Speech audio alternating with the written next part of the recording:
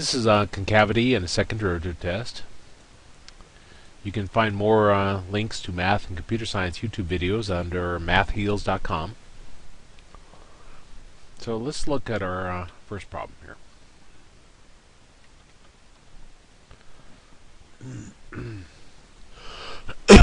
Excuse me. We got f of x is equal to 5, 6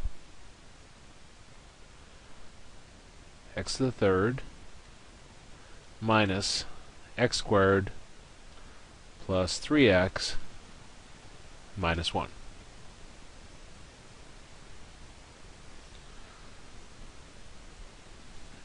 Try to get on that one. And we're trying to, the instructions here say determine open intervals in which graph is concave uh, upward or concave downward. You know, does your graph open up or open down? Um,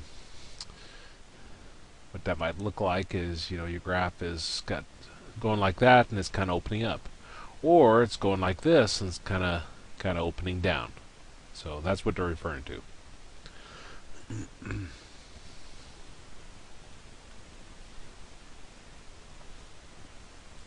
So finding intervals of concavity.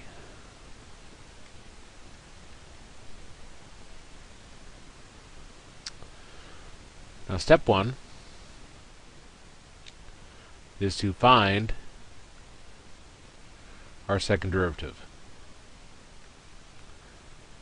That's sometimes a challenging step. So for our first derivative, take our power, put it out in front. So we got 5, 6 times 3x, and then lower power by 1, minus uh, the x squared, take our power, put it out in front, lower it by 1. 3x just becomes 3. so that gives us, um, let's see, 5 halves x squared minus 2x plus 3 for our first derivative. Now for our second derivative. Again, we'll take our power, put it out in front. So we've got 5 halves times 2x minus, and 2x becomes just 2, and then 3 goes to 0. 2's cancel, and we got 5x minus 2. And that's our second derivative.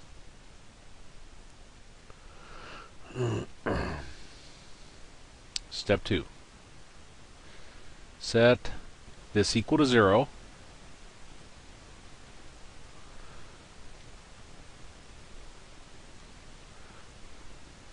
And solve.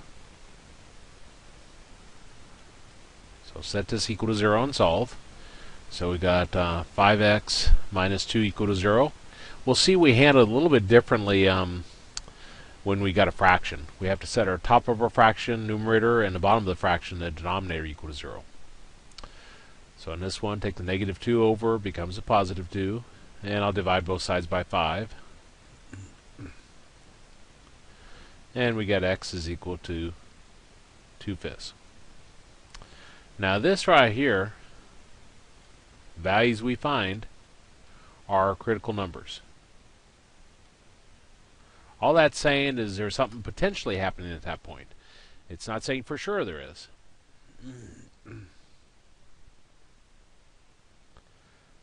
Step 3. Using the critical numbers build a table of intervals.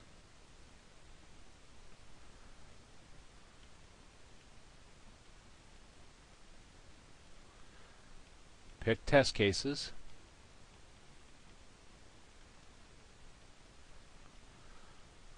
Plug them into the second derivative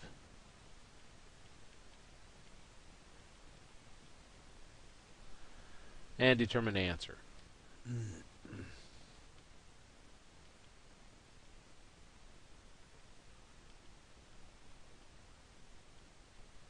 So and determine answer.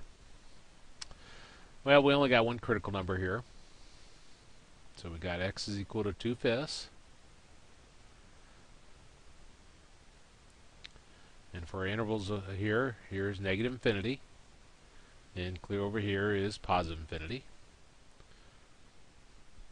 Now I'll pick test cases.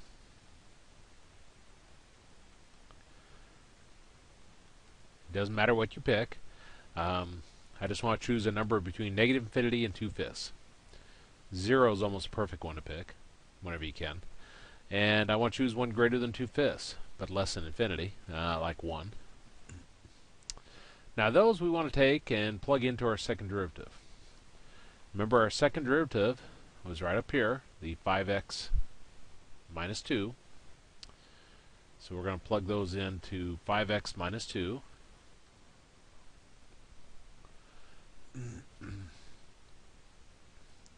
so we got 5 times 0 minus 2. And all we really care about is the sign. Uh, so 5 times 0 is 0, minus 2 is negative. Now in this one, we plug the 1 in. 5 times 1 is 5, minus 2 is 3, which is positive. Again, we could care less what the value is. All we really uh, care about is what the sign is, whether it's positive or negative.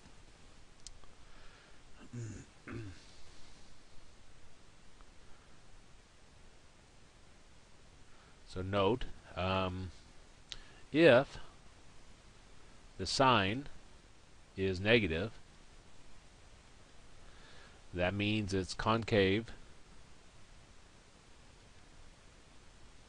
up. What am I doing? Concave down. If the sign is positive, that means it's concave up. So since this one is negative, that means it's concave down. Since this one's positive, that means it's concave up. So our answer then is it's concave down from negative infinity to 2 fifths. Just looking at the uh, interval here. And then it's concave up from 2 fifths to infinity. And those would be our answers. Uh, save this page. Concavity and a second derivative test.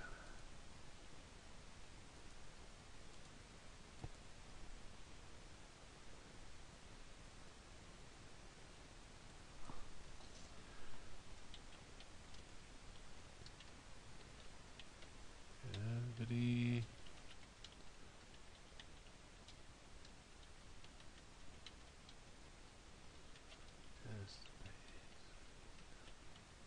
There we go.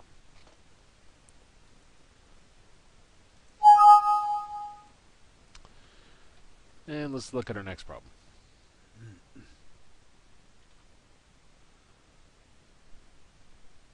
At f of x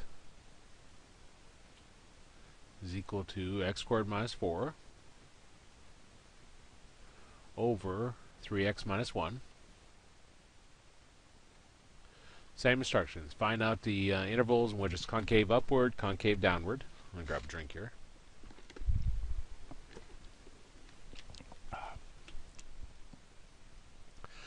Well, let's find our first derivative.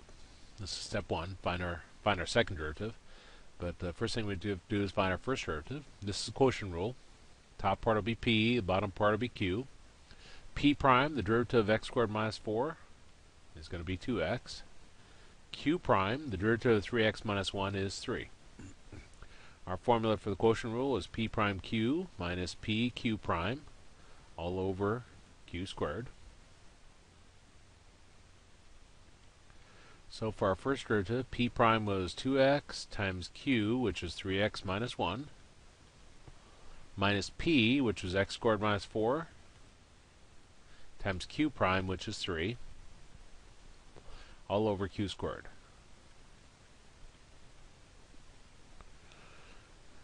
Let me double check that. Okay.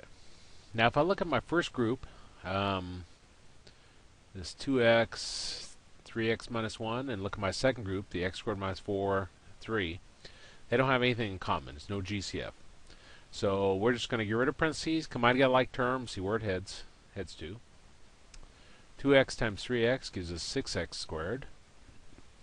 2x times negative 1 is negative 2x. And uh, we have the negative here with the 3, so that's like negative 3. Negative 3 times x squared is negative 3x squared. And negative 3 times negative 4 gives us a positive 12. All over 3x minus 1 squared.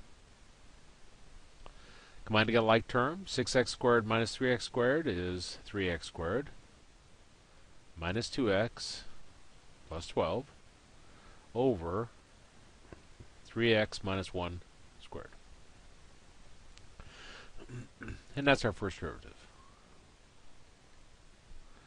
Well, now we need to find our second derivative. Uh, use quotient rule again.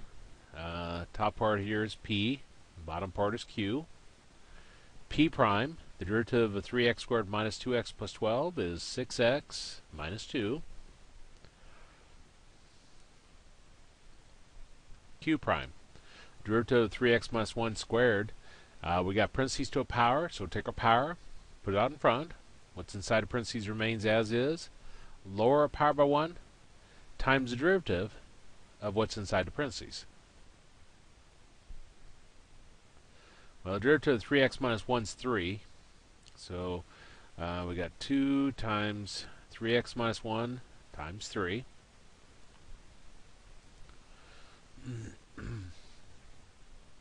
which gives us 2 times 3 is 6 times 3x minus 1. Now I'll leave the 6 out in front there. And sometimes you'll find, uh, like on p prime, see how they both are divisible by 2? I can factor a 2 out. Sometimes that's beneficial, sometimes not. Uh, in this particular problem, it um, we can factor it out. It doesn't benefit us a whole lot. Um, let me go ahead and factor it out here. So take 2 out, and that gives us 3. Ooh, I lie. These both have 3x minus 1, don't they?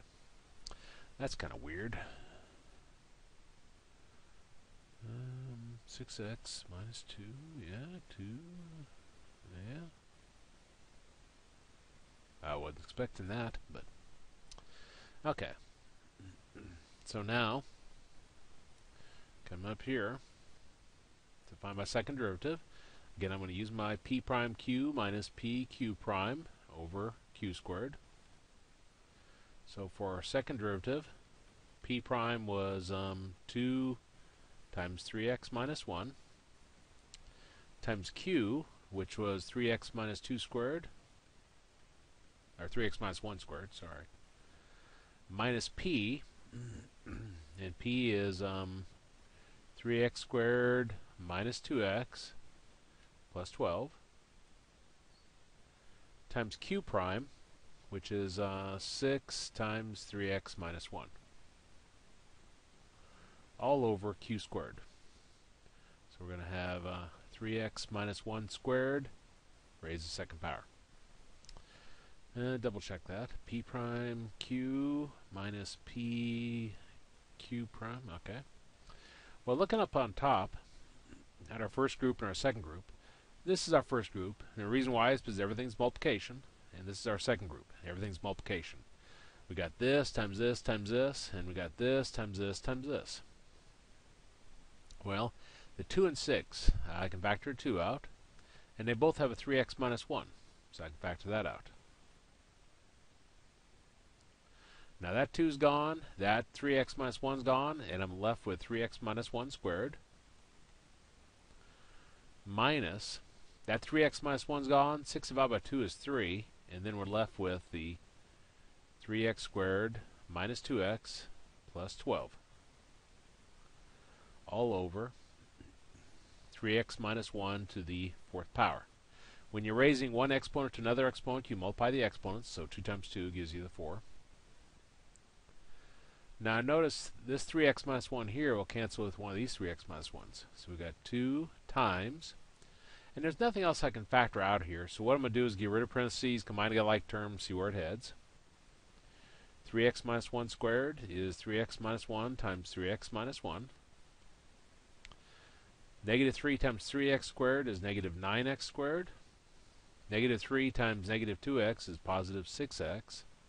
Negative 3 times 12 gives us negative 36.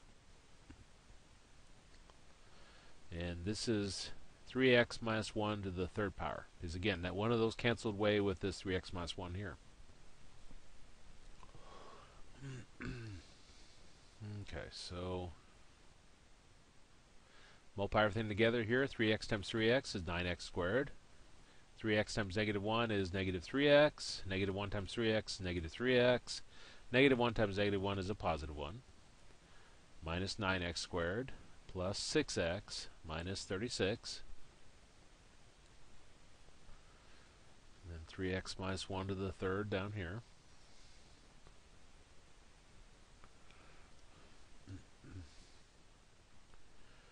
And uh, combine together like terms. Here's a 9x squared minus 9x squared. Those cancel. Here's a negative 3x, negative 3x, and a positive 6x. Those cancel. And we got 1 minus 36, which is negative 35, over 3x minus 1 to the third. Which gives us negative 70 over 3x minus 1 to the third.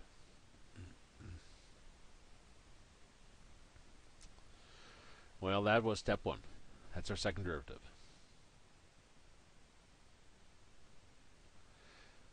Now step two. Set your top part equal to 0. So we'll set negative 70 equal to 0 and set your bottom part equal to 0. And this will give us our critical numbers. Now negative 70 equal to 0, there's no variable to solve for there. So we can cross that out. You actually never need to set a number equal to 0. It doesn't go anywhere. And I'll set this equal to 0. Now whenever you have parentheses to a power equal to 0, you can always drop the power and set what's inside the parentheses equal to 0. So we've got 3x minus 1 equal to 0. Take the negative 1 over, becomes a positive 1. Divide both sides by 3, and we get x is equal to 1 third.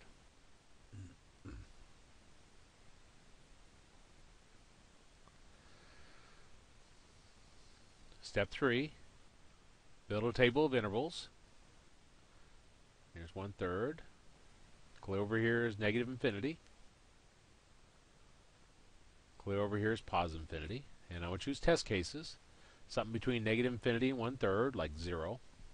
Doesn't matter what you pick, as long as it's between those numbers.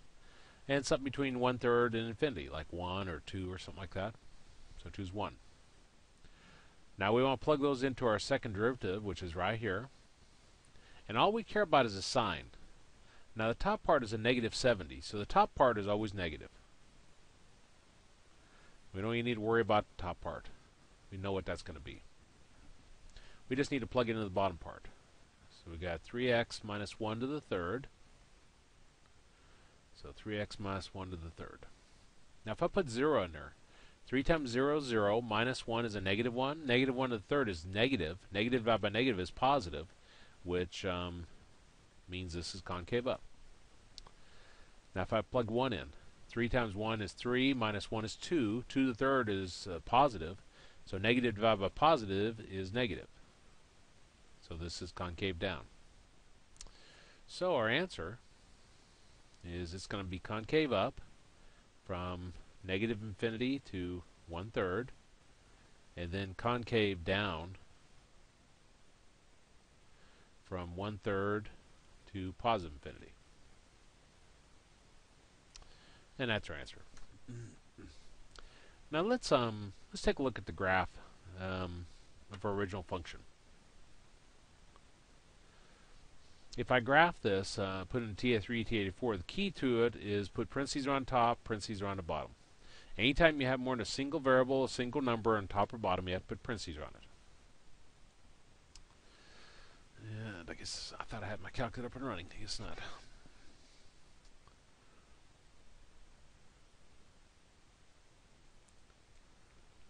Okay, so I'm press Y equals, clear.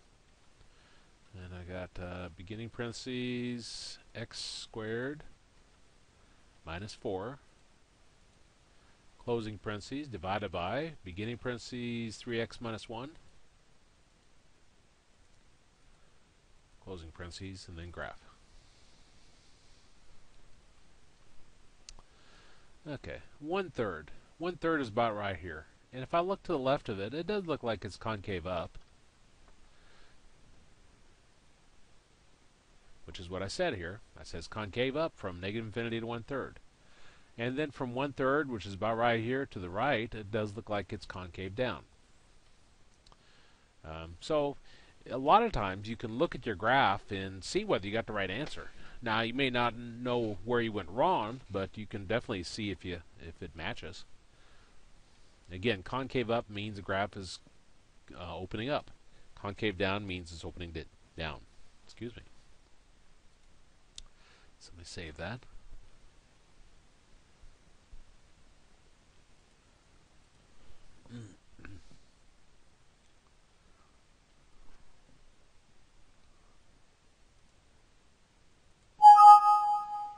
Let's take a look at our next problem.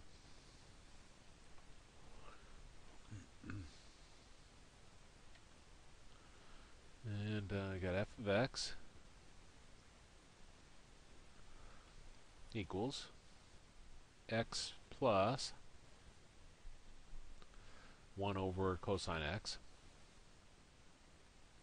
I didn't put it on this problem, but I did mean for it to be between uh, 0 and, um, oops, not including 2 pi.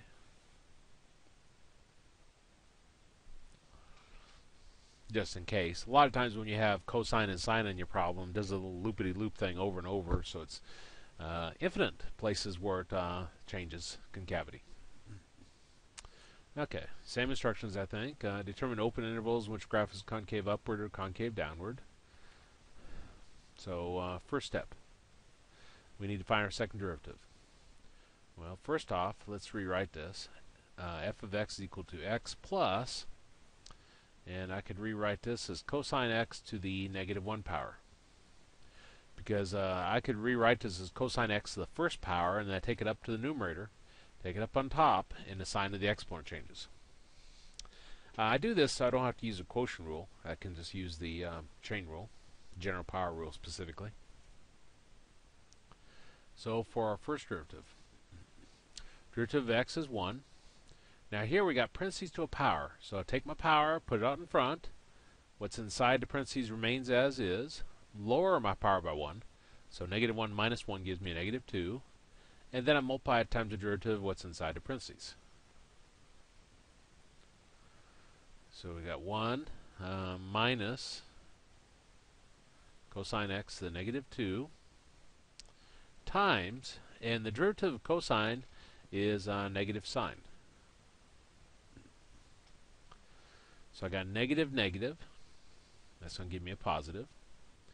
And um, so we got 1 plus and I'll put the sine here and I'll go ahead and take that cosine x as negative 2 power down to the denominator it becomes cosine x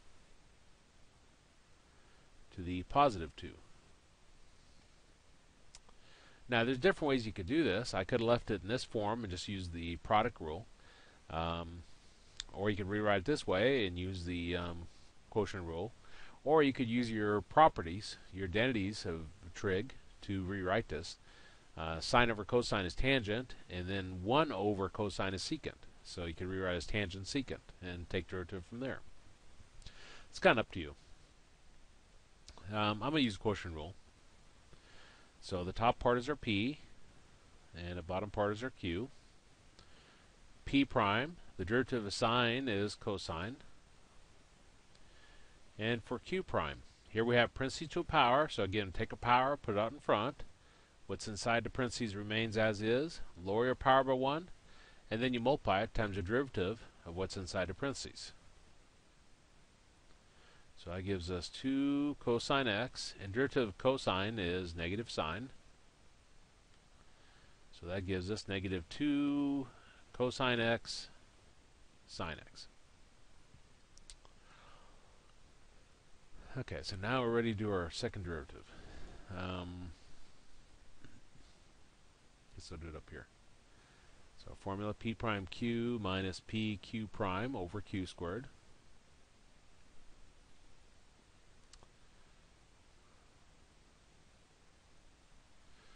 So for second derivative, we got p prime, which was cosine x, times q, which was uh, cosine squared, minus p, which was sine x. By the way, the derivative 1 is 0. That drops away. Times q prime, which was um, negative 2 cosine x sine x all over q squared. Um, q was cosine squared, so we're going to have um, cosine x to the second power raised to the second power. Now let me double check all that. Uh, p prime times q minus p times q prime. Well, cosine times um, uh, cosine squared gives me cosine of the third. Negative times a negative is positive, and we got 2. And then we got uh, cosine, and sine times sine is sine squared. All over. Um, when you're raising one power to another power, you multiply the exponents. 2 times 2 is 4, so this is cosine of the fourth. now, I notice up on top they have a cosine in, in common, so I'll factor it out. And that leaves me cosine squared plus um, 2 sine squared. Excuse me. Over cosine of the fourth. Now we have a cosine here, and we have a cosine of the fourth here. So they're going to cancel. That will, cosine will cancel with one of these cosines. And we end up with cosine squared plus 2 sine squared all over cosine to the third. And that's our second derivative.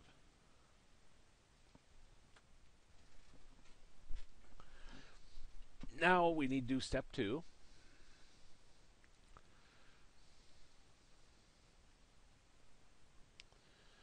And I'll do it right over here.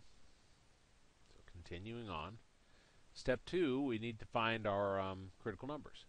So we set our top part equal to 0. So we got cosine squared plus 2 sine squared equal to 0. And we set our bottom part equal to 0.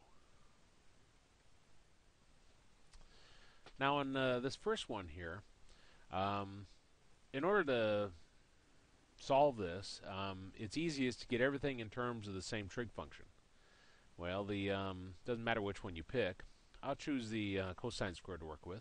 So I'll rewrite the cosine squared as 1 minus sine squared plus 2 sine squared equal to 0. Now negative sine squared plus 2 sine squared gives me a plus sine squared equal to 0. Take the negative 1 to the right side, so we get sine squared is equal to negative 1. Now here we have something squared equal to the other side, so we'll drop our squared and set equal to plus or minus square root of the other side. Um, problem with this is, is um, negative 1 gives us an i, and sine is never equal to an i. So this one doesn't actually give us any critical numbers. This one over here, uh, anytime you have something to a power uh, like brackets to a power, parentheses to a power, and you got zero on the side, you can always just set what's inside the bracket or inside the parentheses equal to zero. So set cosine equal to zero. Now if I look around on my unit circle, where cosine is equal to zero, here at pi over 2, we got uh, 0, uh, 1, and at uh, 3 pi over 2, we have 0, negative 1. Remember, cosine on your unit circle is your x uh, part, so we see that uh, x is equal to pi over 2 and 3 pi over 2. So those are our two critical numbers.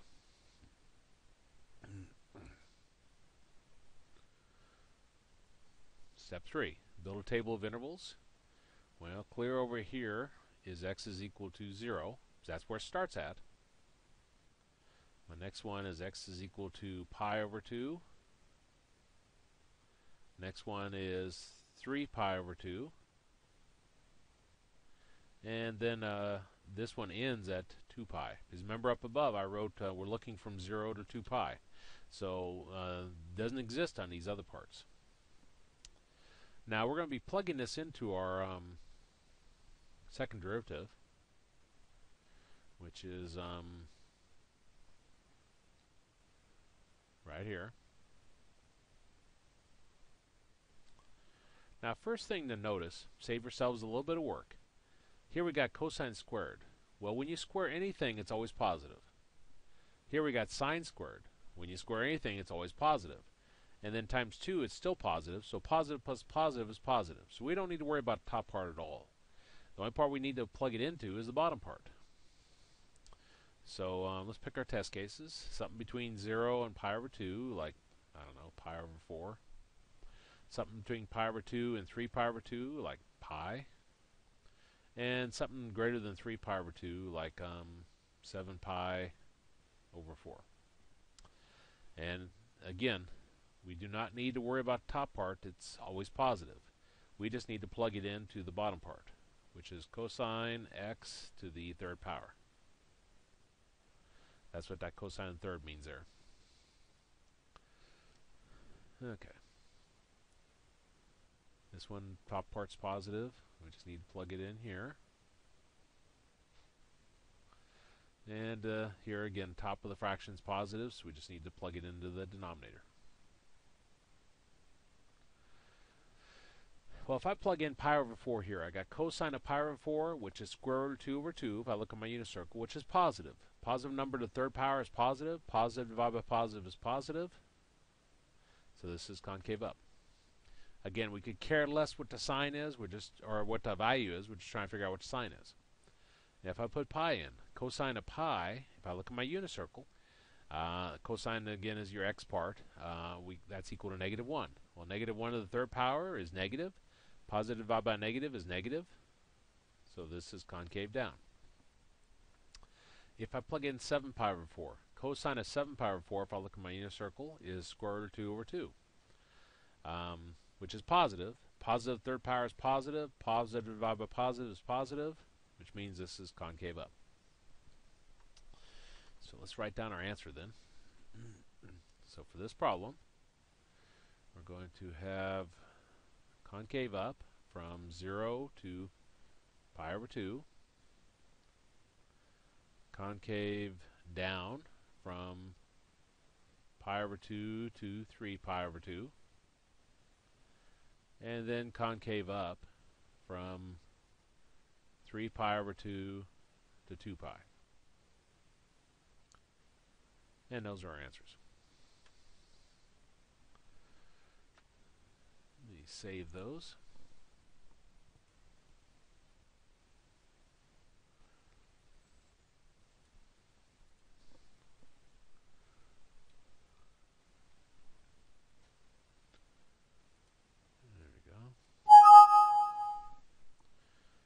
Time for my tablet to blow up, so let me bring up another copy. And let's look at our next problem. This one's different. It says find the points of inflection and discuss the concavity of the graph. Be better if they just said find the points of inflection. Because to find the points of inflection, you have to actually find the concavity. So it's kind of given. So we've got f of x is equal to x to the third plus 9x squared plus 6x minus 12. And um, we're going to find the points of inflection. Now the points of inflection is where the concavity changes. And um, so where it goes from concave up to concave down or vice versa. Uh, if we are looking at business applications, the point of inflection is the point of diminishing returns. It's where you're you should possibly start thinking about selling. Um, first step: find the second derivative.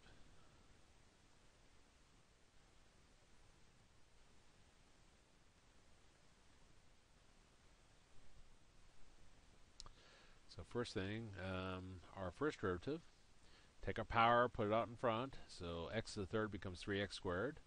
Plus, take our power, put it out in front, so we got 9 times 2x, lower it by 1, plus 6. So that gives us 3x squared plus 18x plus 6.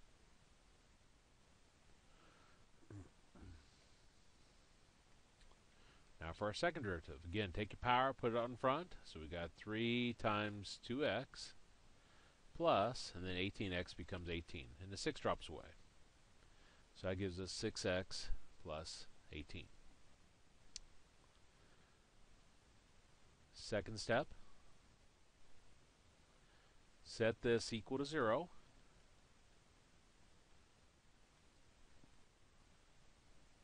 And solve.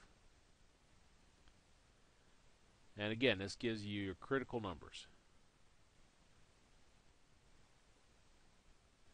If we got a fraction, again, you want to set the top part equal to 0 and the bottom part equal to 0. So this one we just got 6x plus 18. So we're set to 6x plus 18 equal to 0. Take the 18 over, becomes a negative 18. And then divide both sides by 6, and we get x is equal to negative 3. step, step 3. Using the critical numbers, of course this time we just have one, but using your critical numbers, build a table of intervals.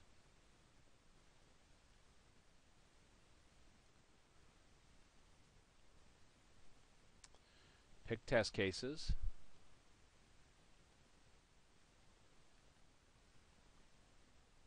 Plug into your second derivative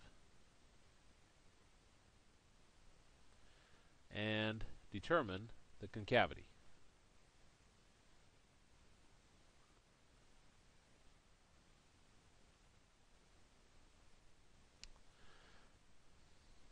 Uh, so let's do that. Then I'll put the note down about what is a point of inflection, even though we've talked about it.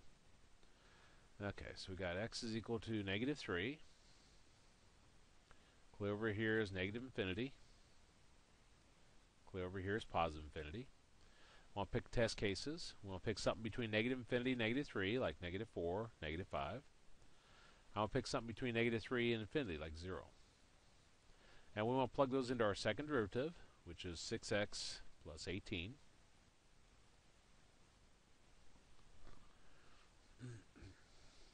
Well, if I put uh, negative 4 in, 6 times negative 4 is negative 24 plus 18. Don't know what it is. Well, I could figure it out, but uh, it's negative, uh, which means it's concave down. And if I put 0 in, 6 times 0 is 0 plus 18, it's positive. Again, I could care less what the value is. I'm just trying to decide uh, what the concavity is. Okay, so the um, they're also they're asking us to identify uh, discuss the concavity. So let me write that down while I'm here. So it's concave down uh, from negative infinity to negative 3. And then it's concave up from negative 3 to positive infinity. Now let me put down our note on the POI, point of inflection. And I won't write out the point of inflection, but um, we have a point of inflection, a POI, where the concavity changes. So where are the concavity changes?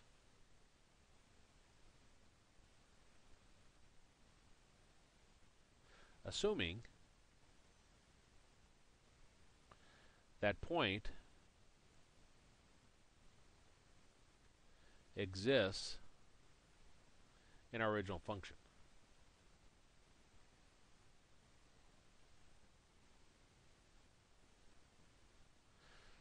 You can't have a point of inflection if the if the graph doesn't even exist there. Well, if we look up here, we're dealing with a polynomial. Polynomials uh, domain is negative infinity, positive infinity. It exists everywhere, so we're we're fine there definitely the um, the um, concavity changes here, so which means we're going to have a POI at x is equal to negative 3. Now step 4. Plug this x value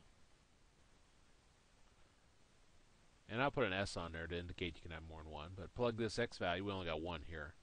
Plug this x value back into the original function.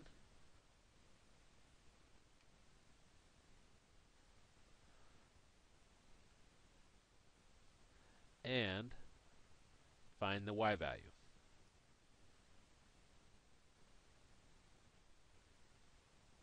Because we are talking about a point of inflection, so which means you got a point, uh, x and a y. Well, our original function, uh, remember f of x is the same as y, is x to the third plus 9x squared plus 6x minus 12. If we plug that in, we got negative 3 to the third plus 9 times negative 3 squared plus 6 times negative 3 minus 12. Negative 3 to the third is negative 27. Negative 3 squared is 9 times 9 is 81. 6 times negative 3 is negative 18 minus 12. I probably regret not plugging this calculator. i Probably make a basic math error here. Um, negative 18, negative 12 is negative, uh, 30, and negative 27 is negative 57 plus 81.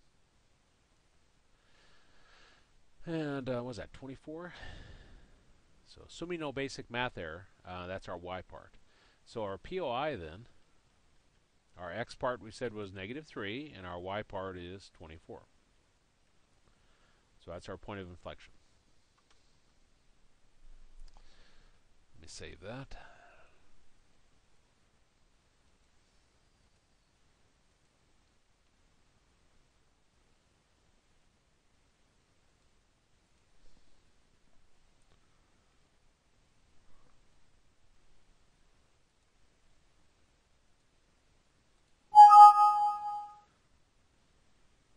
Okay, let's look at our next one. First one I did was kind of a trivial one. Um, I don't want to sit there and do just easy ones, so we'll look at one with a radical. Those are always challenging. I guess I shouldn't say always, but most of the time they are. So let's take a look at this.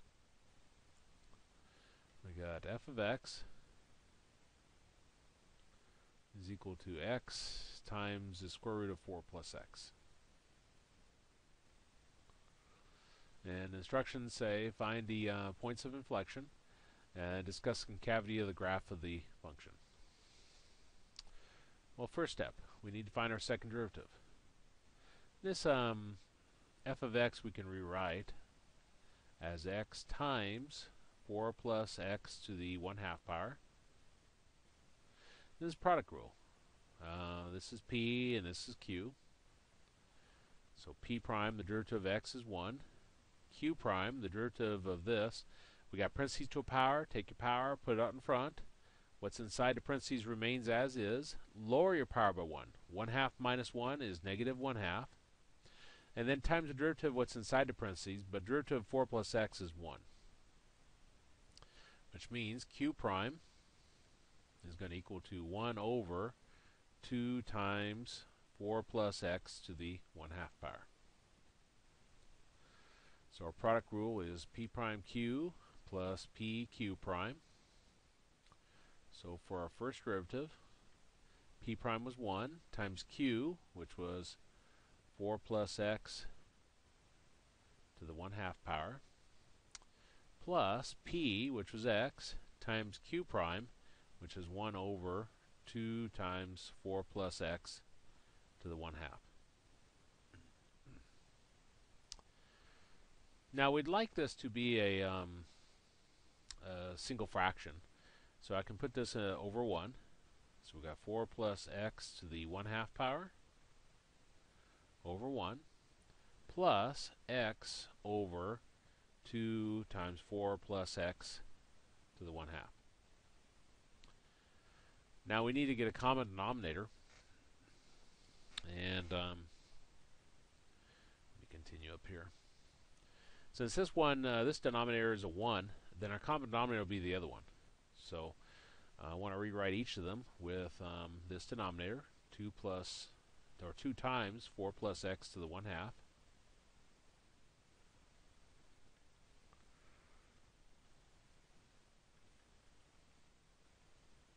Now our second fraction already had that, so it's fine. It stays as is. Our first one, we multiply the bottom part by 2 times 4 plus x to the 1 half, so we have to multiply the top part by it. So we got uh, 4 plus x to the 1 half times 2 times 4 plus x to the 1 half. Now they have the same uh, denominator, so I'll go ahead and merge them into a single fraction here. We got 2 remains out in front. We got 4 plus x to 1 half times 4 plus x to 1 half. Since they're both 4 plus x to a power, we can add the exponents. So we got 4 plus x, 1 half plus 1 gives us um, 1. And then this plus x carries along over 2 times 4 plus x to the 1 half. Can't factor anything out here, so I'll get rid of parentheses, combine together like terms, see where I'm headed. 2 times 4 is 8. 2 times x is 2x plus x over 2 times 4 plus x to the 1 half. Now um, 2x plus x is 3x plus 8 over 2 times 4 plus x to the 1 half. Like that. And that's our first root. I got a feeling I'm not going to be able to finish this all on one page here. So get a piece of scratch paper and get it ready. There we go. grab a drink while I'm doing that.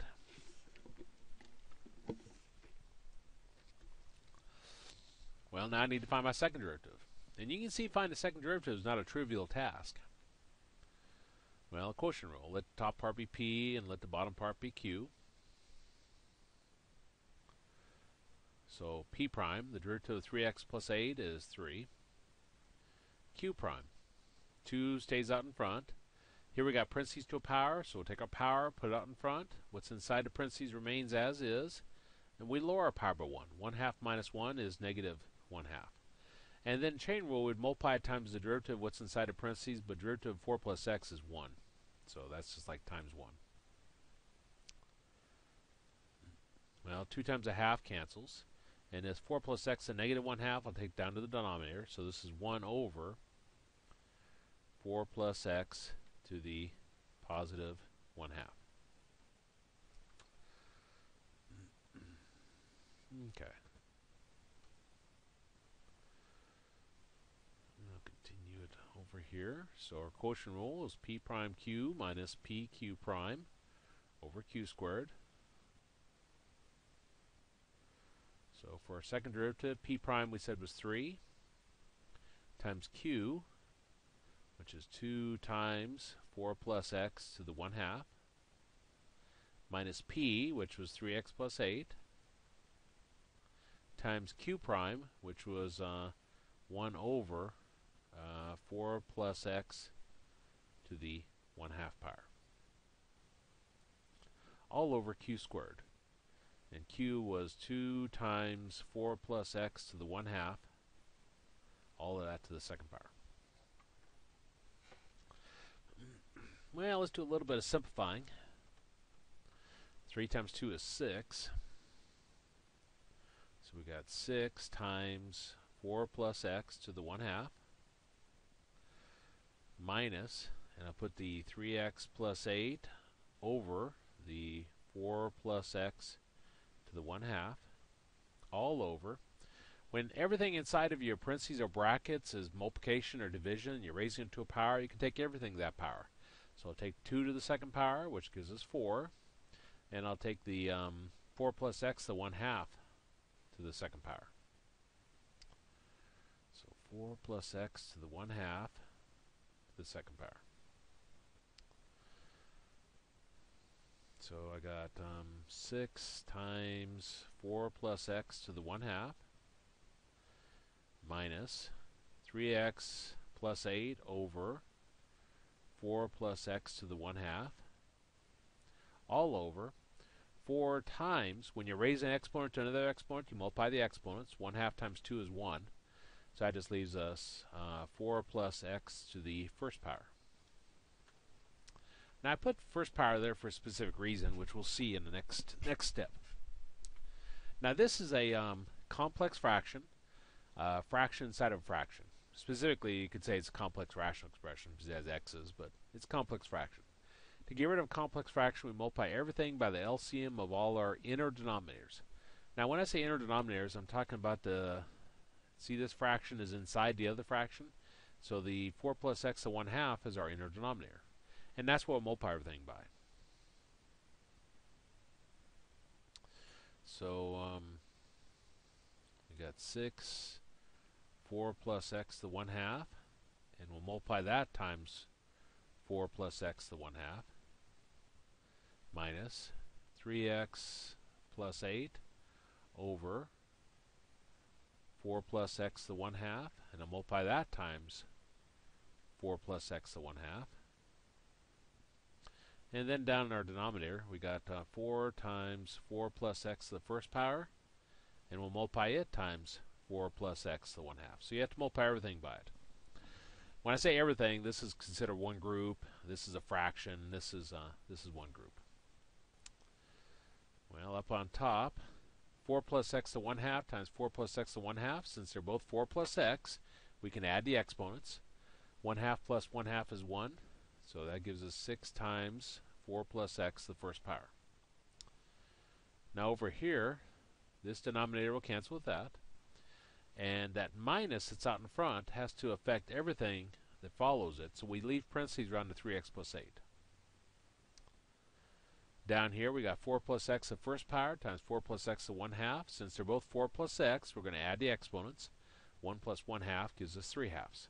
So we got 4 plus x to the 3 halves. Now, there's nothing to factor out of the top part, so I'm going to um, get rid of parentheses, combine together like terms, see where it heads. 6 times 4 is 24. 6 times x is 6x. Negative out in front of the parentheses flips sign of everything, so it becomes a negative 3x minus 8. All over 4 times 4 plus x to the 3 halves.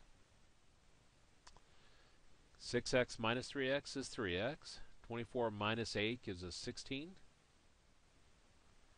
over 4 times 4 plus x to the 3 halves.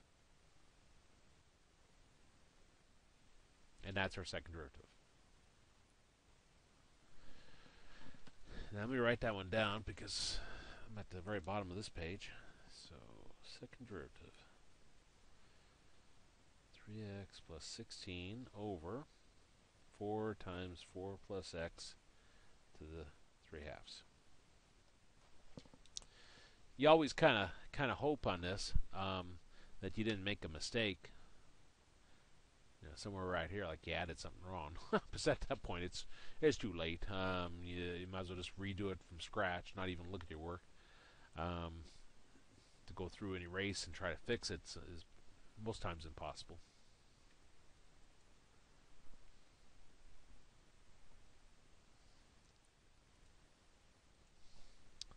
We'll run on the assumption I didn't make any basic math error, though. If I did, then, well, I'm human, so uh, don't worry about it. okay. So, what problem is this? This is number 6 continued. Okay. 6 continued. Um, in our second derivative, actually we write down our function first. f of x was equal to x square root of 4 plus x. Then our second derivative was equal to 3x plus 16 over 4 times 4 plus x to the 3 halves power. Okay, that was step 1. Step 2, I uh, want to find our critical numbers. We'll set our top part equal to 0, so we'll set 3x plus 16 equal to 0, and we'll set our denominator equal to 0. So 4 times 4 plus x to the 3 halves equal to 0. Now here I got 3x is equal to negative 16, and then divide both sides by 3, and I get x is equal to negative 16 thirds. Now in this one, if you have parentheses to a power, and you have a number out in front, and you got 0 on this side, you can drop the number that's out in front, drop the exponent, and just set the what's inside the parentheses equal to 0. So we got 4 plus x equal to 0, or x is equal to negative 4. Well, let's go back to our, um, our original uh, function. And let's talk about our domain. Whenever you have a radical with an even index, like a square root, the index is the number in the slot here. To find your domain, you always take what's underneath the radical, the 4 plus x, and you set it uh, greater than or equal to 0. We don't want it to be negative. It can be equal to 0, we just can't have a negative number inside of a radical with an even index. So I take the 4 over, and we get x is greater than or equal to negative 4. Why is this important? Look at um, this critical number here, negative 16 thirds. I don't know what that is exactly decimal-wise or anything, but it's um, negative 5 and 1 third, which is not in our domain. So if you come up with any critical numbers that don't fit your domain, you have to cross them off. And this says uh, negative 4, which is actually where our domain begins, which is makes it kind of a boring problem. Um, kind of exciting up to that point, but um, we got x is equal to negative 4. And again, the graph doesn't exist over here. And then this one over here is positive infinity. So we just got one interval. Well, I pick a test case, something greater than negative 4, like 0. And I want to plug that into my second derivative, which is right here. Now, uh, let's talk about the 4 plus x to the 3 halves power. 4 plus x to the 3 halves. I could rewrite that. We got a property from intermediate algebra, algebra 2. says you can take the number up on top, the 3, and put it on the outside of the parentheses. Like that. And 4 plus x to the 1 half power is the square root of 4 plus x. Now, square root of um, 4 plus x uh, is always positive. And positive third power is still positive. And times the 4 that's out in front is still positive. So we don't need to worry about the bottom part. It's always positive. But let's look at the top part, 3x plus 16. Now, if you don't see this, it's no big deal. If you plug 0 in everywhere you have an x, you just see what your sign of it, sign of it is. But if I plug 0 in, 3 times 0 is 0, plus 16 is positive. Positive over positive is positive, which means this is concave up. So for concavity, this is concave up from negative 4 to infinity. There is no change in concavity, so there is no POIs. Let's graph this and see what it looks like. So press my y equals, clear, and I'll do x, square root, so we do second, x squared, 4 plus x. And then graph. graph actually kind of lies. We'll see that in a later section. How do you find out the real graph? Because it, it doesn't look exactly like this. Uh, it actually comes up here and touches at the uh, x-axis at negative 4. But it looks like it just uh, doesn't. But obviously when you look at it, it's concave up everywhere, which means there is no POIs. PO POIs is where the concavity changes. So again, on some of these problems, you can just look at it and, and see if what you got is reasonable. Let me save that. It's kind of a little bit of a challenging problem. I did that to offset the um, trivial one I did uh, for the first one for finding POI.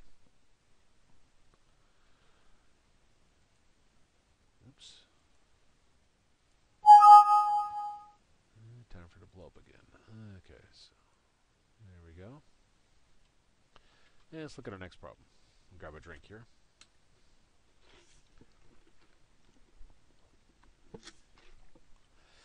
Okay, so find the points of inflection. Same instruction. Along the way, we have to find a concavity. So we got f of x is equal to 2 sine x uh, minus 2 cosine x. Now, first step, find our second derivative. So for our first derivative, we got 2 carries down, derivative of sine is cosine, minus 2, and then derivative of cosine is negative sine. Which gives us 2 cosine x, negative times negative is positive, so plus 2 sine x. Then for second derivative, and I didn't put it here, but again, I do mean for um, x be between 0 and uh, 2 pi. Okay, for our second derivative, um, 2 carries down. Derivative of cosine is negative sine plus 2, and then derivative of sine is cosine. So that gives us negative 2 sine x plus 2 cosine x. Step 2. Set that equal to 0 and solve it. So we got negative 2 sine x plus 2 cosine x equal to 0. And there's two different ways I'm going to talk about uh, solving this. Uh, first one is um, I want to take the uh, negative 2 sine x to the right side, so we get 2 cosine x is equal to 2 sine x. And we can divide both sides by 2, and we get cosine x is equal to sine x. Okay, now here's where we veer off. I'll show you the first method. And then I'll also show you the second method over here. Second method is a lot easier if you're uh, comfortable with the unit circle. Uh, the first method here, using some of our trig, um, we can square both sides. So I'll go ahead and square both sides. So that gives us cosine squared is equal to sine squared. Now I want these to be in terms of the same uh, trig function. So the cosine squared I can rewrite as 1 minus sine squared equals sine squared. Uh, I want to get everything with the sine squared on one side. So I take this negative sine squared over, and we get 1 equals sine squared plus sine squared.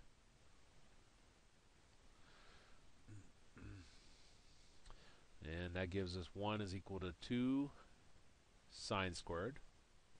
Divide both sides by 2, and we get 1 half is equal to sine squared. Now, from college algebra, if you got something squared equal to the other side, you drop your squared, and you put a plus or minus square root on the other side. And I'll flip these around. I'll put the sine over here. Well, we can't have a fraction inside of a square root, so I split it up, put a square root on top, square root on the bottom. Of course, square root of 1 drops away. And um, then we multiply top and bottom by square root of 2, and we get sine is equal to plus or minus square root of 2 over 2. Okay, so we, as we look around in our unit circle, we're looking wherever sine is equal to either a positive square root of 2 over 2 and, or a negative square root of 2 over 2, which is at uh, pi over 4, 3 pi over 4, 5 pi over 4, and 7 pi over 4. Now, when you're solving trig equations in this manner, um, and you're there's two things that make me check my answers. One of them is when you take both sides to a power. You always have to check your answers then, because you get the right answers, but some of them, um, and then some of them might be false. And the other thing is when you use trig identities to rewrite a, another trig function. You should always check it to be on the safe side. See how up here where I rewrite cosine squared as 1 minus sine squared? Again, that right there triggers me I have to check my answers. Now if I take these and plug them back into my original equation, the cosine x is equal to sine x up here, our answers, our critical numbers I should say, will be pi over 4 and uh, 5 pi over 4. Okay. You can't always use this method, but sometimes it works very nice. By inspection. Here we're saying cosine is equal to sine. Now cosine our unit circle is the x part, and sine is our y part. So basically we're going around the unit circle looking where the x and y are the same. And here at pi over 4, they're both square root of 2 over 2, like that. And then over here at 5 pi over 4, they're both negative square root of 2 over 2. So where the cosine is equal to the sine, the x is equal to the y on my points is at these two places, which is what I just circled here. The inspection is a lot easier, but again, you can't always do every problem uh, like those with inspection. Okay, so we got those two as our critical numbers. So let's build our, uh, what is, step is this? Step 3, build our table of intervals. Now remember it starts at 0. Then our pi over 4 is here. And our 5 pi over 4 is here.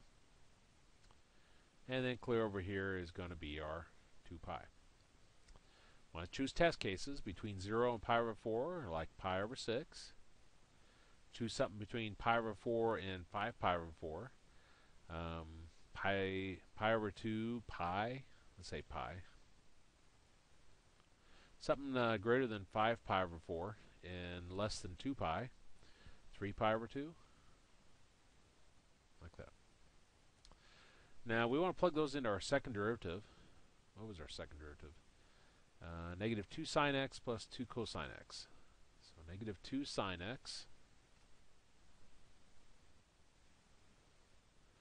plus cosine x.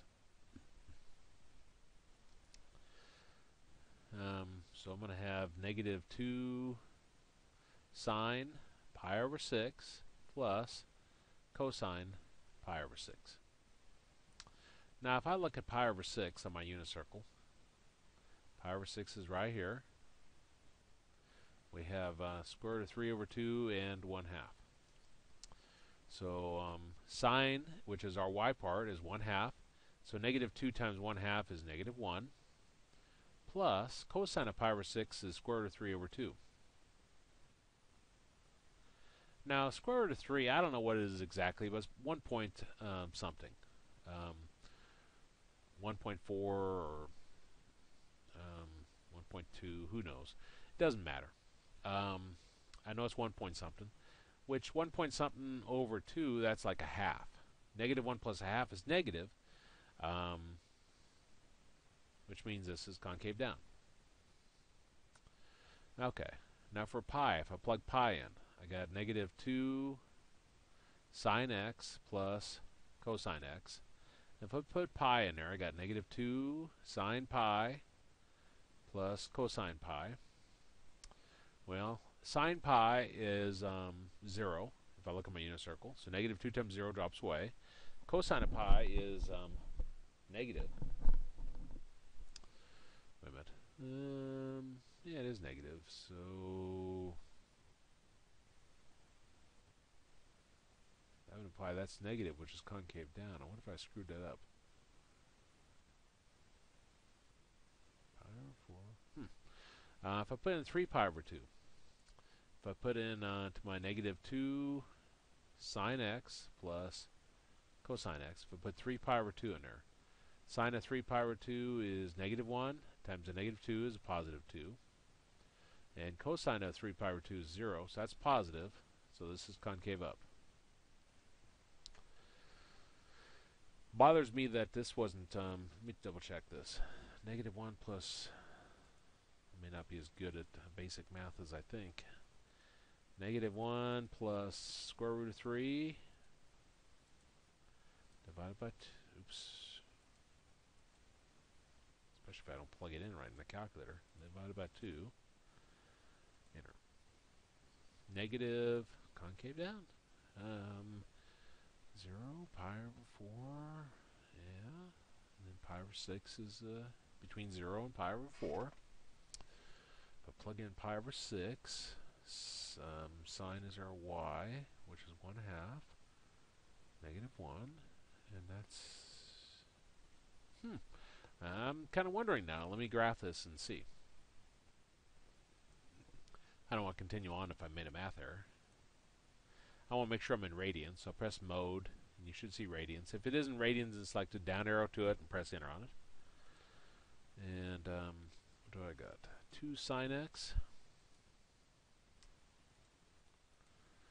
closing parentheses, minus 2 cosine x.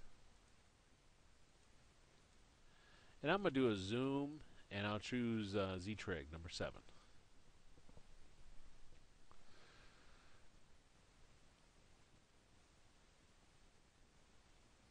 Okay. So let's come down here.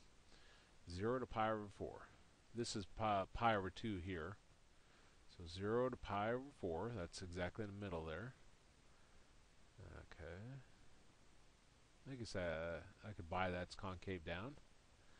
And then from pi over 4 to 5 pi over 4, uh, that's obviously concave down. And it changes. Okay, yeah, yeah, that looks very reasonable. It seemed weird when I got those results, kind of questioning myself, but. Um, so let me write down the con concavity. So this is concave down from 0 to pi over 4. Then it's concave down from pi over 4 to 5 pi over 4. And then it's concave up from uh, 5 pi over 4 to 2 pi.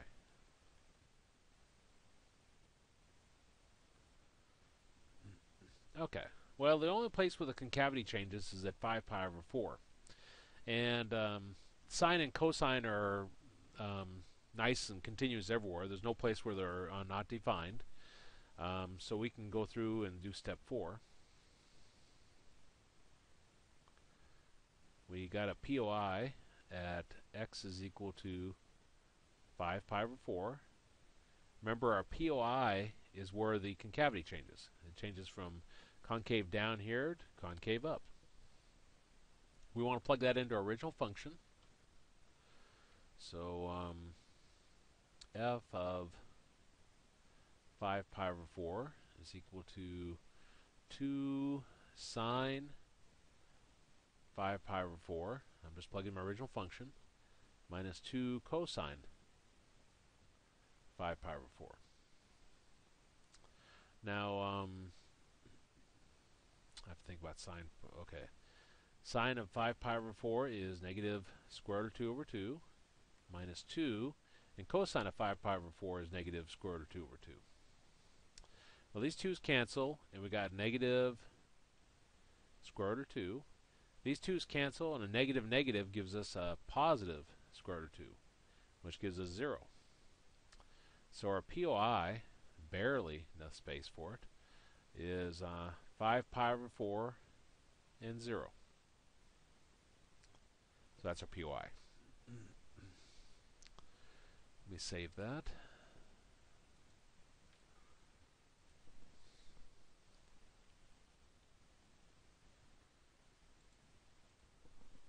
Trig, trig ones are always interesting. I, I like the trig problems. A lot of people don't, but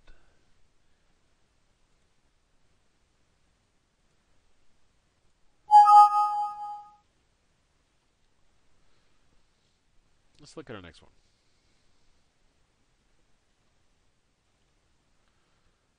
Got f of x is equal to e to the x squared minus 3x. Okay, same same steps. We want to find the uh, points of inflection. So our first step, um, want to find our second derivative. So for our first derivative, the derivative of e to a power is e to the power. That doesn't change. But by the chain rule, you then have to multiply it times the derivative of the exponent. So again, whenever you have a um, uh, e to a power, the derivative of it is e to the power, doesn't change, times the derivative of the power. Well, the derivative of x squared minus 3x is 2x minus 3. And e to the x squared minus 3x. And that's our first derivative. And we need to find our second derivative now. This will be the product rule. This will be p, and this will be q. p prime, the derivative of 2x minus 3 is 2. And for q prime, the derivative of e to the x squared minus 3x is what we just found here, which is this. So it'd be um, 2x minus 3 e to the x squared minus 3x. So product rule is p prime q plus p q prime. So for our second derivative, p prime was 2 times q, which is um, e to the x squared minus 3x, plus p, which was 2x minus 3, times q prime, which was uh, 2x minus 3 e to the x squared minus 3x. Okay, now let me double check that. Okay. Q set, okay, and then P prime times Q plus this times, uh, yeah, I guess so. Now, um, notice on this, they both have an e to the x squared minus 3x, so I'll factor that out in front.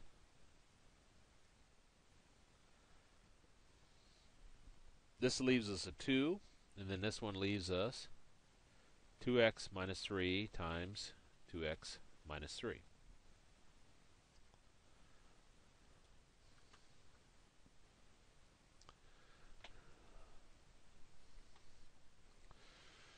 Now, um, nothing else I can factor out here, so um, I'll follow my typical way of solving these, which says get rid of parentheses, combine to get like terms, see what happens. But this one is special because you could go ahead and set this equal to 0 and solve it and make the problem a lot simpler. Um, but let me pretend I don't see that. But I do like uh, step by step that works 100% of the time, or as close as we can get. So I'll multiply this together. Um, 2x times 2x gives us 4x squared. 2x times negative 3 is negative 6x. Negative 3 times 2x is negative 6x. Negative 3 times negative 3 is 9. Which gives us e to the x squared minus 3x. Combined together like terms. And we've got 4x squared. Negative 6x, negative 6x is negative 12x. 2 plus 9 is 11. okay. Well, now we're ready to, um, uh, step 1, I guess. Assuming I labeled it. Uh, yeah, I did. Step 2. We want to find our critical numbers. So we're going to set each factor equal to 0. So I'll set e to the x squared minus 3x equal to 0. And I'll set 4x squared minus 12x plus 11 equal to 0. Now, this is an exponential equation. Our, our steps for solving the exponential equation says get the part with the variable and the exponent by itself. No numbers in front of it, no numbers after it. Well, that's done. Uh, next step says to take natural log of both sides, take ln of both sides. But unfortunately, when I uh, take ln of both sides, we get natural log of 0, and you can't have um, a log of 0, which means there's no critical numbers comes from that. Anytime you have a number, which e is just a number, it's 2.7 a bunch of decimal places. Anytime you have a number to a power equal to 0, that's never going to equal to 0. You can always cross it out. Now this one doesn't factor, so I have to use quadratic formula. So uh, a is the what's before x squared, which is 4. b is what's before x, which is negative 12. And c is what's the number at the end, which is 11. Quadratic formula is negative b plus or minus square root of b squared minus 4ac all over 2a. So we got negative, negative 12 plus or minus negative 12 squared minus 4 times a, which is 4, times uh, c, which is 11, all over 2 times 4. Well, negative negative gives us a positive 12, plus or minus. Negative 12 squared is 144. Um, where's my calculator? 16 times 11.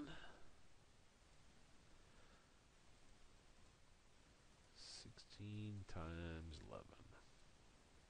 176. So we got minus 176. You probably see the problem right here, over 8. 144 minus 176 is going to give us a negative number inside of a square root. We can't have that which means that this gives us no critical numbers. So we uh, found no critical numbers. Well, what does that mean? Well, if we go to step 3, build our table of intervals based upon our critical numbers, there is none, so we're just going to go straight from negative infinity to positive infinity. And your test case, just choosing a value somewhere in there. Well, 0 is probably a good one to choose. Now, if we come up to our second derivative, we got e to the x squared minus 3x, e to the x squared minus 3x times 4x squared minus 12x. 4x squared minus 12x uh, plus 11.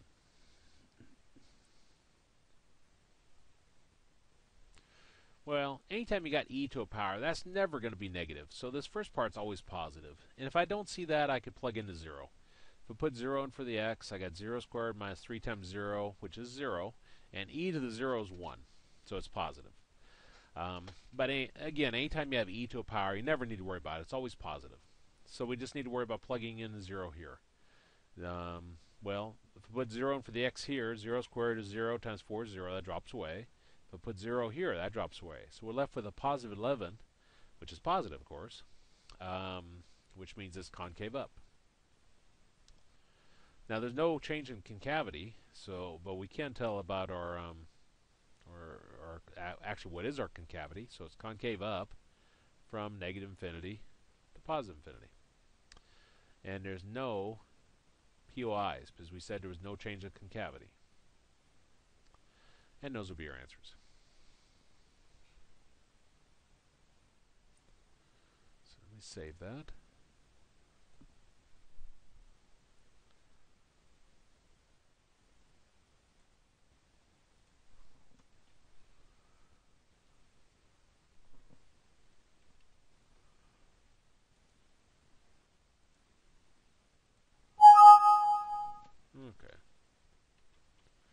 Yeah, let's look at our next problem. Grab a drink here.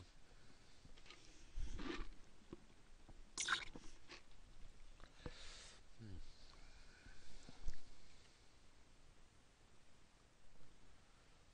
Okay, so we got f of x is equal to arc cosine of x squared. Now this isn't one of them that we uh, run across a lot, so let me write down the formula here. The derivative of arc cosine u, where u represents anything.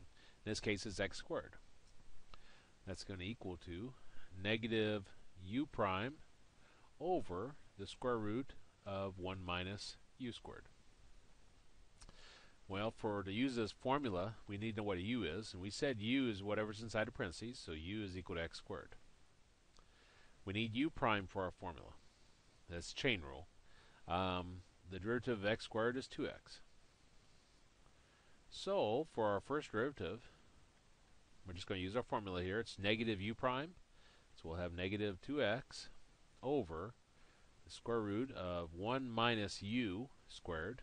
So u was x squared so we got x squared squared. Which gives us negative 2x. And I'm going to rewrite this uh, as the 1 half power. So x squared raised to the second power. When you're raising one exponent to another exponent, you multiply the exponents.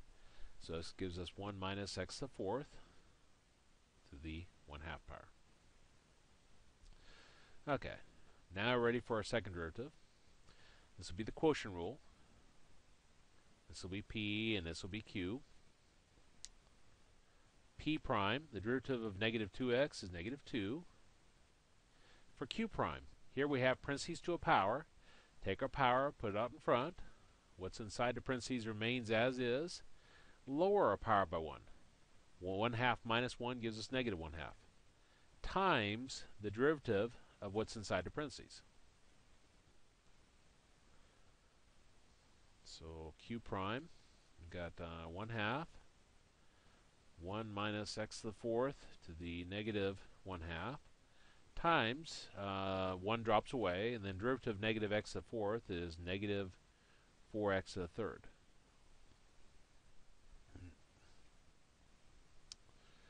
So then, q prime, 1 half times negative 4 is negative 2, so we got negative 2 x to the third and the um, 1 minus x fourth to the negative 1 half I'll take down to the denominator. And that's 1 minus x to the fourth to the positive 1 half.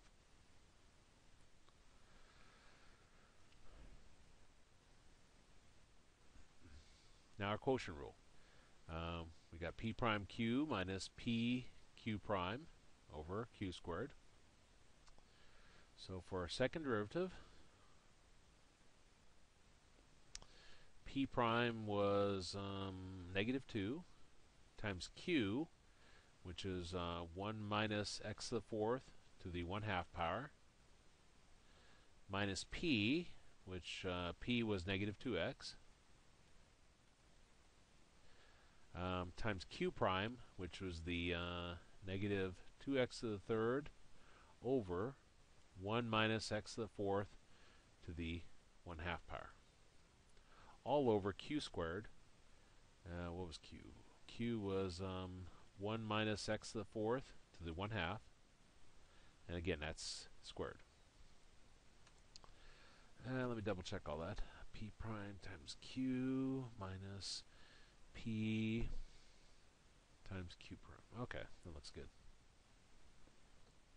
Nasty, but looks good. Okay, so we got negative 2, 1 minus x to the fourth to the 1 half. Here we got a negative, negative, negative. Well, negative times negative is positive, times another negative is negative. And then uh, put these all up on top. 2 times 2 is 4. And x times x to the third is x to the fourth over 1 minus x to the fourth to the 1 half. All over. When you're raise, uh, raising one exponent to another exponent, you multiply the exponents. 1 half times 2 gives us 1. So this becomes 1 minus x to the fourth to the first power.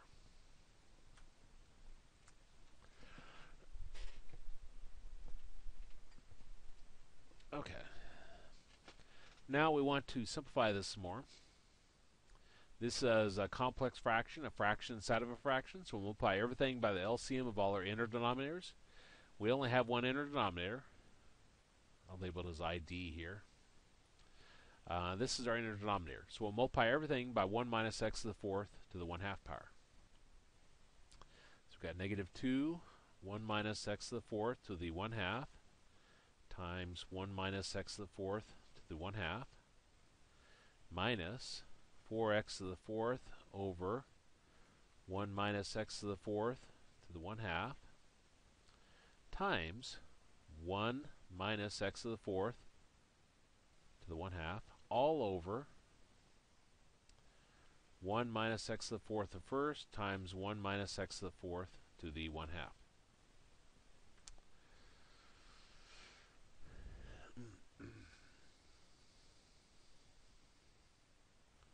Well, the negative 2 carries down here. We have 1 minus x to the fourth to the 1 half times 1 minus x to the fourth to 1 half.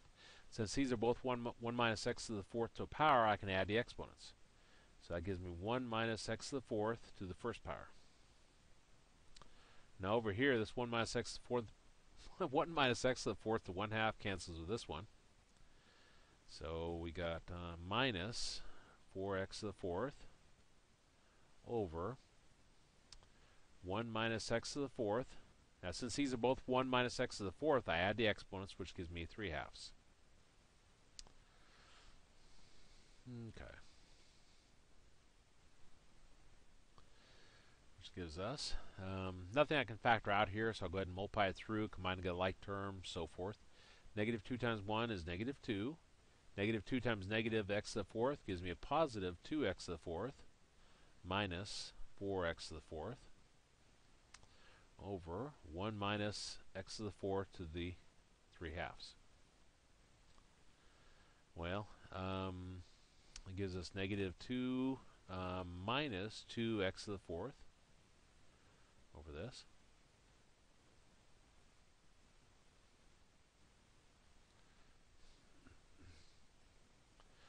And that was step um, step two, I guess. That's our second derivative. Or step one, I guess. Still on step one. I'm only dreaming that I, I'm on step two. Okay. So that was step one. Well, now we go to step two. And um, I know this flow is kind of kind of weird. Step two. Want to find our critical numbers. So set our top, set our top part equal to zero. Minus two minus two x to the fourth equal to zero. And I'll set the bottom part equal to zero. So one minus x to the fourth to the three halves equal to zero. Now in this one, um, I'll take the negative 2x to the fourth right side. So we got negative 2 is equal to positive 2x to the fourth. Divide both sides by 2, and I get negative 1 is equal to x to the fourth. Now, whenever you take something to an even power, it can never equal to a negative number. So I know I don't need to worry about that. There's no critical numbers coming from that. This one over here.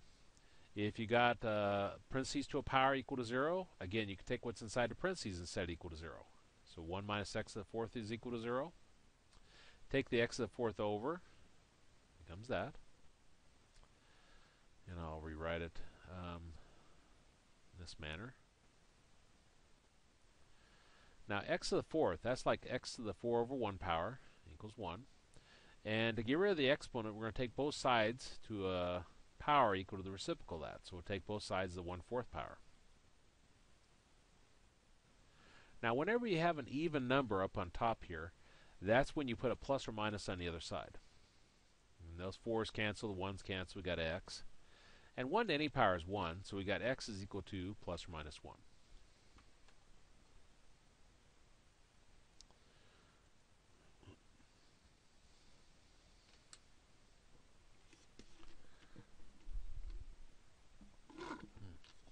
Getting a drink.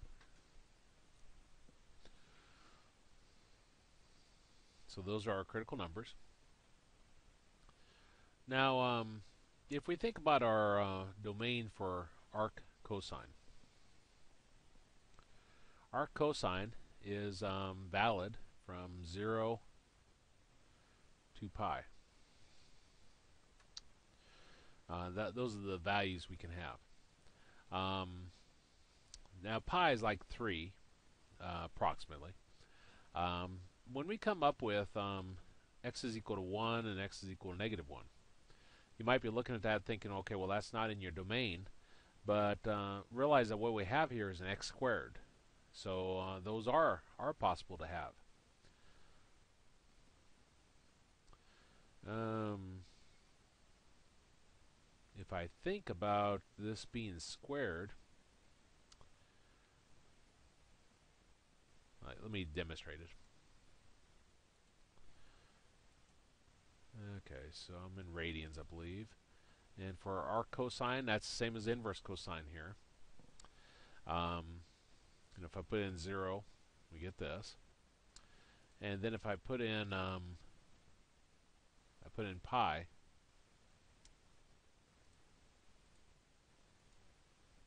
you get an error. See, it doesn't uh, doesn't exist at pi. Um,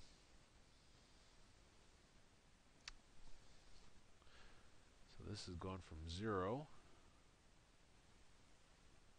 And then we take what's inside here, the x squared, and then that's less than that. Now I could um, take the square root of everything, and um, then we get 0 is less than or equal to x is less than um, the square root of pi. Because if I put that in there, um, then uh, square root of pi gives us the second power gives us pi. Um, so this is what we're really looking at, where the x's can be between. Okay.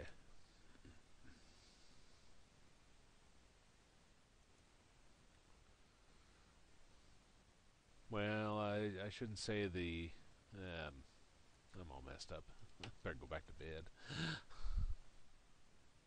Forget that that's going to become important for our um, our side part, but that's not what I'm trying to indicate here.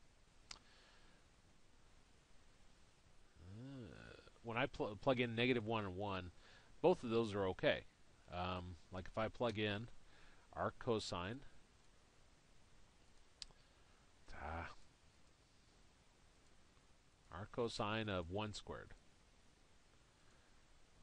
we get a value if I plug in arc cosine of negative 1 squared. So we get a value. So both of those work. So let's come down here then. And we came up with x is equal to negative 1. And we came up with um, x is equal to 1.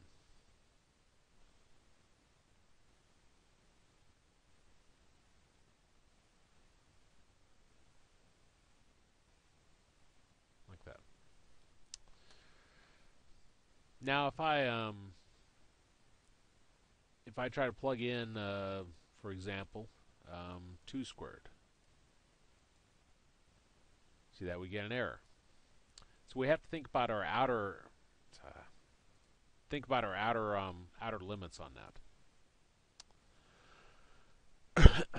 well, uh, zero is obviously in the middle, so that's okay. But our highest value is um, pi, um, and then so if I come over here, we got x is equal to pi. Actually, it's not pi. What is it? Square root of pi. Um, so we got x is equal to the square root of pi. Over on this side, we got x is equal to negative square root of pi. Now we know it can't include those values, um, and it can't be less than that, can't be greater than that. I demonstrated that by putting 2 squared in there. But if you put this squared in there, again, that gives you an error, but then if you put anything less, it's okay. So it's, it's a little bit weird to think about your domain uh, setting up these, these boundaries right here. Now, um, I don't know what square root of pi is. Let's see. Um, square root of pi, 1.1.8 approximately. So I want this is negative 1.8. So I want to choose something between negative 1 and negative 1.8. So negative, uh, 1.1. Choose something between negative 1 and 1, like 0 and choose something between 1 and and uh, 1.8. Uh, it's like 1.1. So those would be good ones. And we want to plug those into our second derivative, which is right here. Now we already said that the 3 halves power, I could rewrite this, and this is always positive. So we just need to plug it in the top part. The bottom is always positive. So we've got negative 2 minus 2x to the fourth. Negative 2 minus 2x to the fourth. That's positive and negative 2 minus 2x to the fourth. That's positive. Well, if I put in 0, I'll start with the easy one. 0 to the fourth is 0 times negative 2 is 0. Minus 2 minus 0 is negative. Divided by positive is negative. So this is concave down. Now if I put in uh, 1.1. Minus 2 minus 2 times 1.1 to the fourth power. That's negative. Uh, I didn't expect that, but it's negative. Negative over positive. It's negative, so it's concave down. And this would also be concave down. So what does this graph look like then? Arc cosine of x squared. Okay, so second cosine of x squared. And I'll do zoom and choose Z-trig. Well, sure enough, it's uh, concave down everywhere, isn't it? Um, which means there's no POIs. So this is, um, see if I got room here. This is concave down from uh, negative square root, square root of pi to negative 1, negative 1 to 1, and 1 to square root of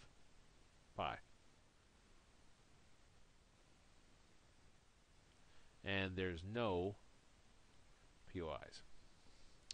Now, myself, I have to really think about these myself when I'm working these um, arc cosine, arc sine, arc tangent because it, it throws you when you have more than a single x in here. You have to really do some thinking about what that what that means. Now, uh, initially I was wrong when I was trying to take square root of everything, because the zero doesn't actually matter. This is our high end, and that's the only one that mattered when you got the x squared. So let me save that.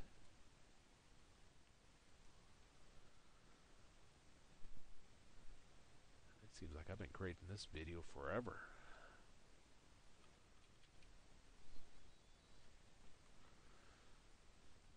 There we go. When did I start? 7 o'clock. About an hour, 40 minutes ago. Okay. Let's ta take a look at second derivative test. I'm only going to show one problem of this. I, am not really crazy about second derivative tests, and I'll explain why when I work the problem. Uh, it says let f be a function such that f prime of c is equal to 0 and the second derivative of f exists on an open interval containing c. If f double prime of c is less is greater than 0, then f of c is a relative min. If f double prime of c is less than 0, then f of c is a relative max. If f double prime of c is equal to 0, the test fails. So let's uh, work this problem and see what these steps mean.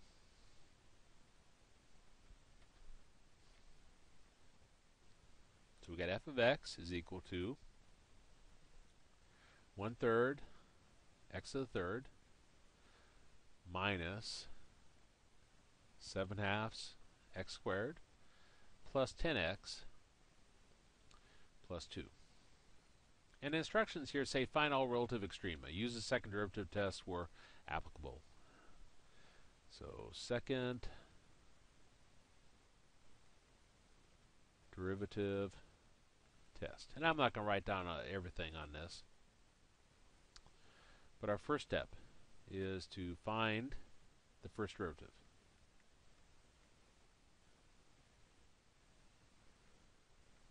Why, why do I say that? Well, that's what this is saying right here. You know, once you get, if you go majoring in math, you should get used to reading this notation. This f prime of c, well, that f prime says, hey, first find your first derivative. Then set it equal to 0 and solve it and get your critical numbers. And the C's will represent your critical numbers. So that's what they're telling us. So we'll find our first derivative. Again, numbers out in front stay out in front. So take your power, put it out in front, lower it by 1. Minus 7 halves times, take your power, put it out in front, lower it by 1. And 10x just becomes 10. 1 third times 3 cancels. We got x squared. These 2's cancels. We got minus 7x plus 10. Step 2. Set this equal to 0.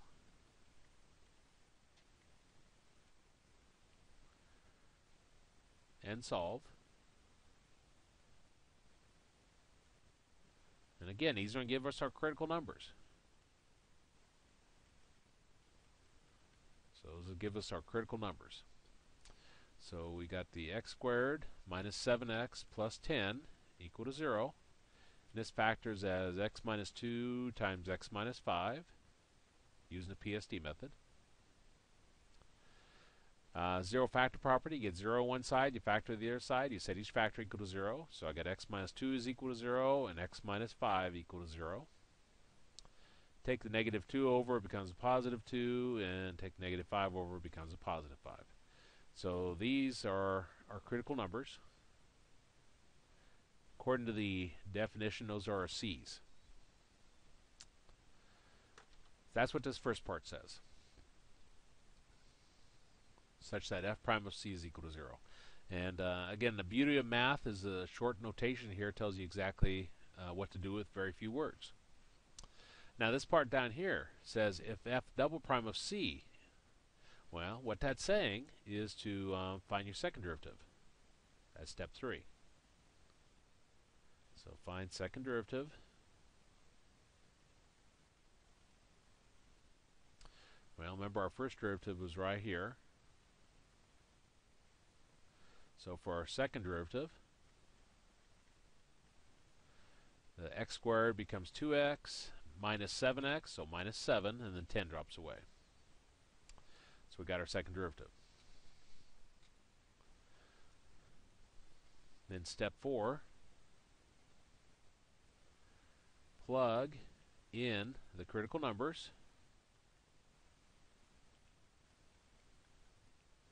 and use a table.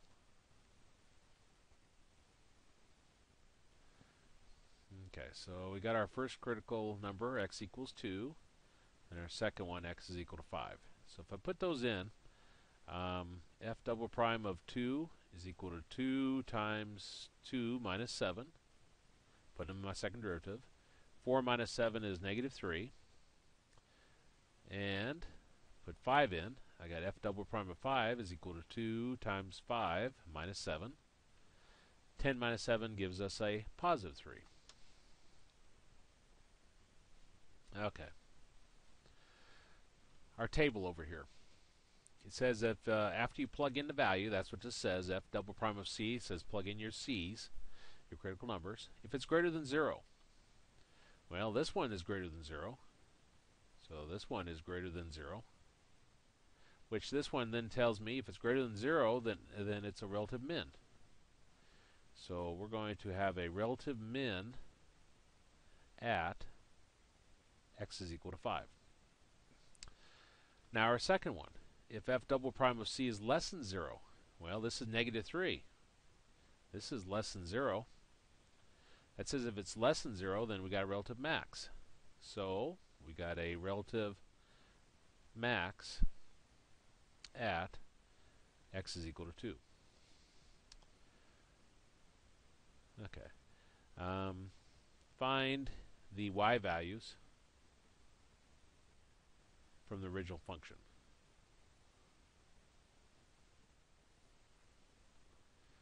Because remember, our, our relative min and relative max um, uh, are points. So we have to plug those back into our original function. What was our original function? Ooh, yuck. Um, so we're going to have y is equal to 1 third times 2 to the third minus 7 halves times uh, 2 squared plus 10 times 2 plus, plus 2. Okay, 2 to the third is 8 times 1 third is 8 thirds minus 2 squared is 4. Um, cancels, simplifies with this. That gives us minus 14. Uh, 10 times 2 is 20 plus 2 which gives us 8 thirds. Uh, 20 minus 14 is 6, plus 2 is 8. 8 times 3 is 24, plus 8 is um, 24, brain shutting down, 32. So that's 32 over 3, assuming I did my basic math right, which is questionable. 24, yeah, 32. Okay, so our relative max is going to be at uh, x was 2 and then our y was 32 over 3. So that's our answer there. Now here we're going to plug into 5. So we got y is equal to 1 third times 5 to the third minus 7 halves times 5 squared plus 10 times 5 plus 2. 5 to the third is 125, so we got 125 over 3 uh, minus uh, 5 squared is 25 times 7 is 175 over 2. Uh, yeah, that's right. Plus 10 times 5 is 50 uh, plus 2. And I don't want to think that hard, so let me use my calculator.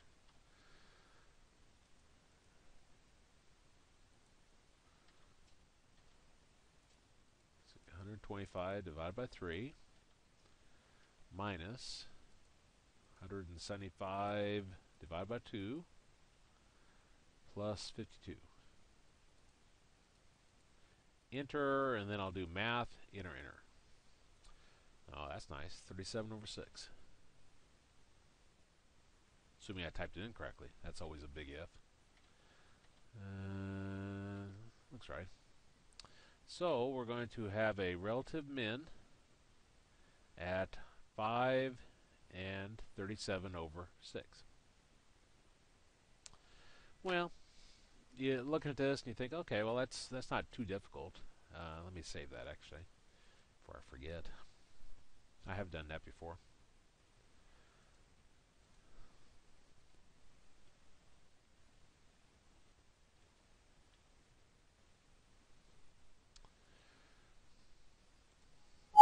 I uh, never really emphasize this too much. And uh, the reason why is it works pretty pretty good with uh, polynomials, uh, where your second derivative is easy to find. As we've seen in this video, sometimes that second derivative is as hideous as can be to find. So to make us go through and find the second derivative so we then plug in the critical numbers from our first derivative, um, yeah, that doesn't always uh, go over very well. Um, I'd much rather just find the first derivative and build our table of intervals and plug in our test cases. And then the second reason why I don't, I'm not crazy about it, is look at number three. If it's equal to zero, the test fails. So it doesn't work all the time, and you have to go back and use the uh, the first derivative test anyway. Uh, well, we did uh, when we found the relative min, relative max in the previous lesson. Um, so again, that's the second derivative test. I kind of satisfied uh, showing that to you, but um, best place is again when you're working with polynomials for that. Okay, let me stop the recorders. almost two hours to work for um, some kind of movie studio uh, creating these. I'm sure people would pay a lot of money for it. Nothing more exciting than this. Much better than watching Star Wars or something. Uh, let me see, F10.